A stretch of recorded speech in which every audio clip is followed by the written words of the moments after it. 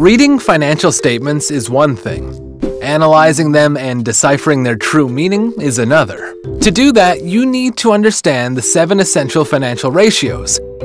They're like a shortcut for filtering out good stocks.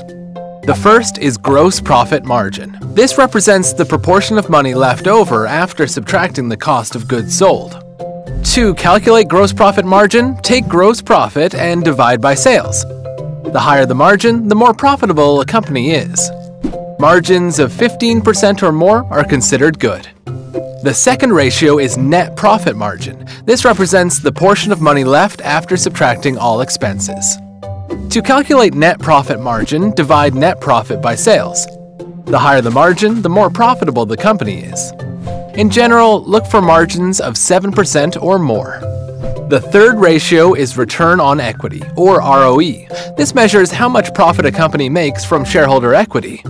To calculate ROE, take the net profit and divide it by equity.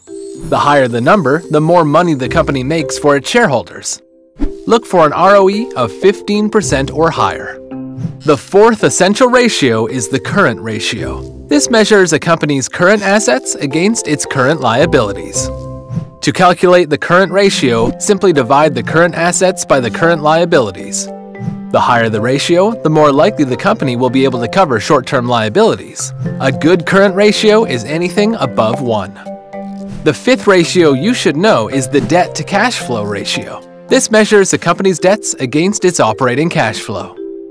To calculate this, take the company's total debt and divide it by operating cash flow. The lower the ratio, the better the company's ability to finance their operations. Any ratio less than or equal to 3 is considered good.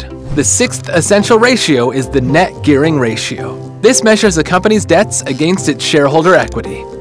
To calculate this ratio, first take the total debt and subtract the company's cash. Then divide that number by the equity. The higher the ratio, the more debt and therefore risk the company has.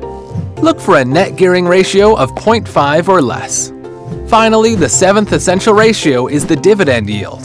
This measures how much in dividends the company pays out compared to their stock price. To calculate the dividend yield, take the dividend per share and divide it by share price. The higher the yield, the more dividends shareholders receive. Look for companies with consistent yields between 4 and 7%.